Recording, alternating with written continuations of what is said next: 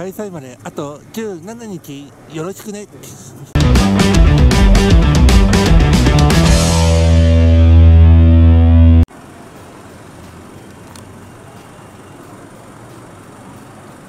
はい、エルカチャンネルのショです。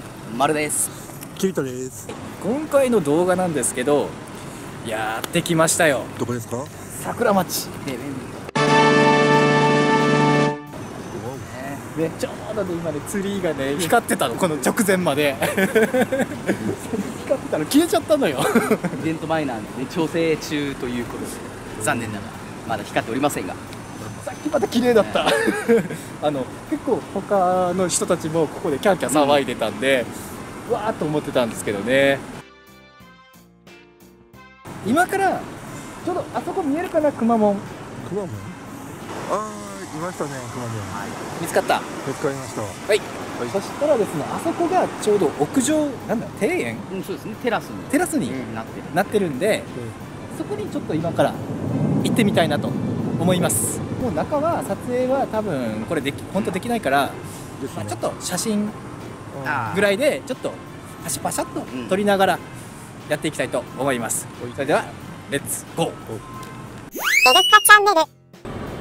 絶対熊も本当このカメラ回す直前まであの手動いてたんですよね。こんな感じで動いてたのにカメラ回そうって言い出した瞬間に止まったの。ついてないですね。それもえなんだっけ？1時間1時間に1回。1時間に1回時間決まってるんですよね動きの。がということで1時間待ちです。待ってません。あそうあの本物のねあのくまモンさんと同じ毛皮を使用してる。肌触りがくまモンと一緒なんでですって。これ熊本の肌触りですねだからなかなかね会えないっていう方はここで触っていただければねいいんじゃないかと思います正面正面そうね。あれ我らが誇る熊本城です。どうすか熊本城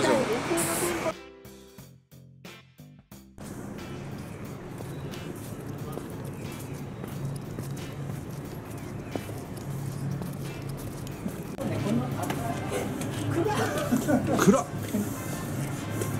何も見えんよアシスタントです。これで少しは明るいの？明るい明るいまさかの自分でライト持つ羽目になりました。あここなんかよくニュースで流れてた。こんなんでいいんですか？いいんじゃないんですか？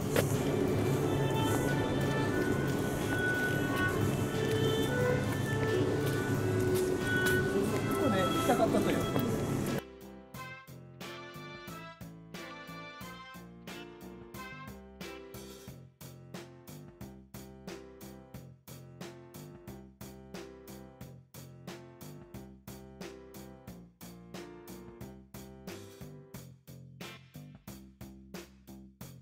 デルカチャンネル